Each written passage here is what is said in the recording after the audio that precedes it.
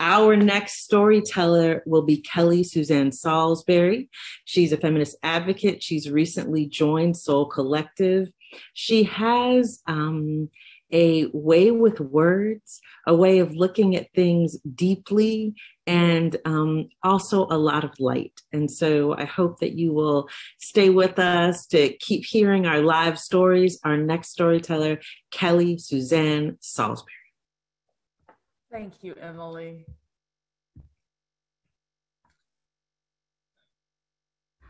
Recollections of morning drives with my dad surface when I drive past my alma mater, St. Ignatius College Prep. He drove me to school every morning until I got my driver's license at age 16. A news and talk radio buff, he tuned in daily to WBBM News Radio 78, WLS 7's Don Wade and Roma show, and the infamous Rush Limbaugh show. Mom resented the bigotry and right wing politics of Limbaugh and did not want my mind polluted with his vitriolic rhetoric. She chided Dad for listening in. Pops, an unapologetic and proud liberal, responded, You can't intelligently argue a point if you only know one side. And you can't disagree with a view you don't even know. I've never forgotten this. And although I'm a regular MSNBC viewer, I watch other news networks and even tune in to WBBM once every blue moon for old time's sake. On our drive one morning during freshman year, I begged, Dad, can we listen to music instead? We listen to news every morning. He turned the volume down on the radio and said, Okay, you can listen to the radio. But let me ask you a couple questions first.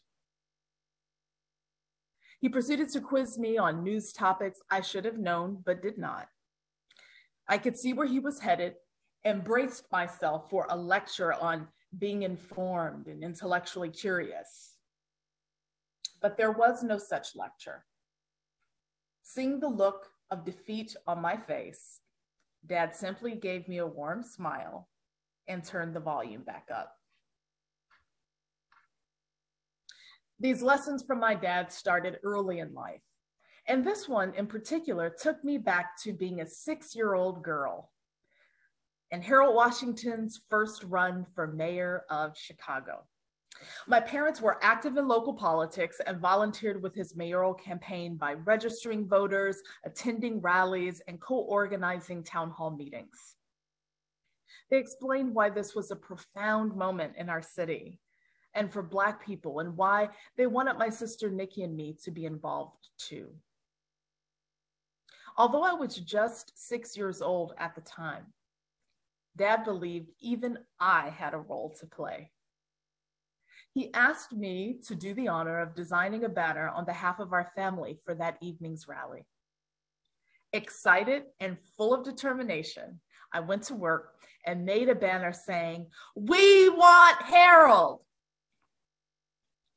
After showing Dad my colorful creation with block letters in every color from the crayon box, he complimented me and hugged me tightly.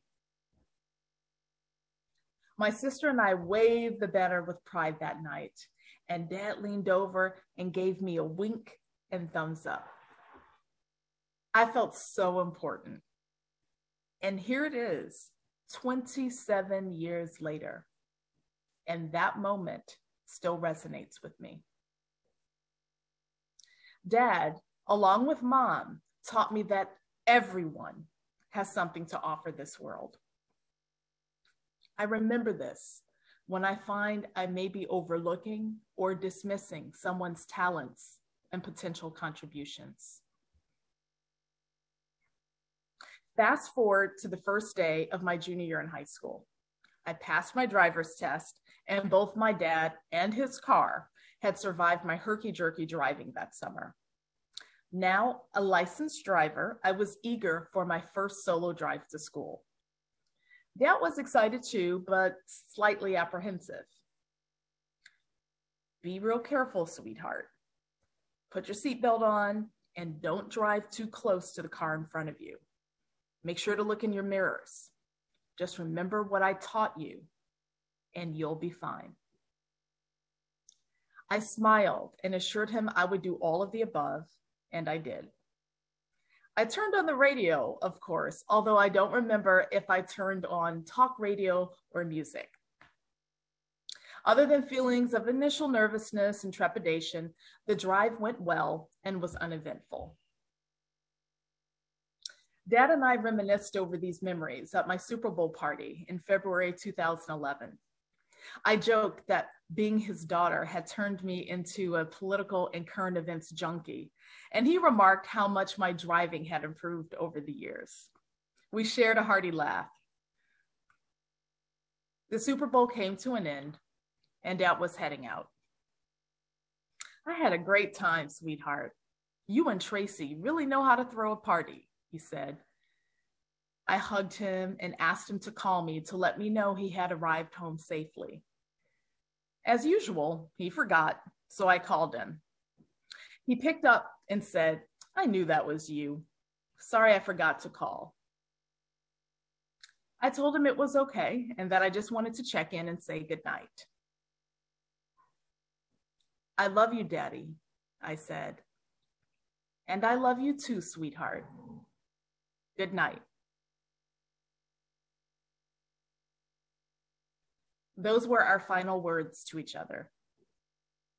He died three days later on Wednesday, February 9th, 2011. No words can describe the pain and deep loss I felt for a while. But I carry those memories and valuable lessons from our morning drives with me. Dad taught me how to drive a car, but he and the complicated relationship we had gave me guidance and wisdom to navigate life. Thank you.